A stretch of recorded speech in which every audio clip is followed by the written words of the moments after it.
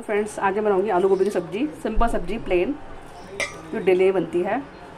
ये हमारी कढ़ाई ली है। हमने सरसों का तेल गरम कर लिया है। अब मैं इसमें डालूँगी जीरा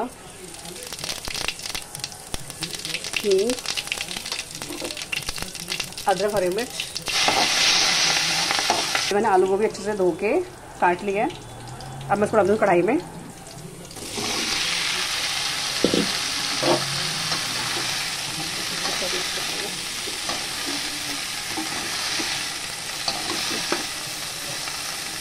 अब डालेंगे मसाले। हल्दी पाउडर, धनिया पाउडर, लाल मिर्च पाउडर, अमचूर पाउडर, नमक।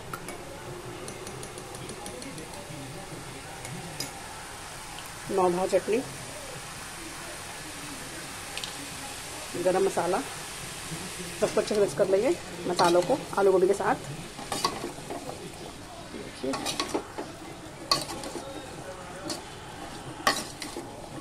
और इसको हम ढक देंगे सिम गैस पे आठ से दस मिनट के लिए। ये मैं ढक दिया है, गैस मैंने सिम कर दिया है। और इसके पकने का वेट करते हैं आठ से दस मिनट के लिए।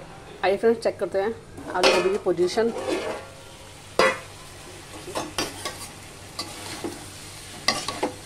देखिए फ्रेंड्स, आलू अच्छे से कट रहे हैं। ये देखिए, अब इसी स्टेज पर डाल देंगे हम कद्दूकस किए हुए टमाटर। ये मैंने यहाँ पे बड़ा सा टमाटर लिया था, उसमें कद्दूकस कर लिया है। और इस सब्ज़ी को उसमें मिक्स कर देंगे। देंगे पराठा बनाते हैं, मैं तवा रख दिया, पराठा बेलते हैं। इसमें सब्ज़ी बनके बिल्कुल तैयार है। अब मैं डालूँगी हरा धनिया। इसको अच्छे से मिक्स कर लूँगी।